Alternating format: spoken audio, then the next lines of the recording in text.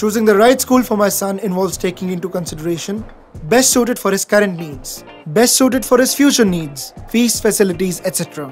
Investing in mutual funds also involves taking into consideration your present needs, your future needs, your risk appetite, the amount of investment, etc. So make sure that you answer all those before choosing the right school or the right mutual fund.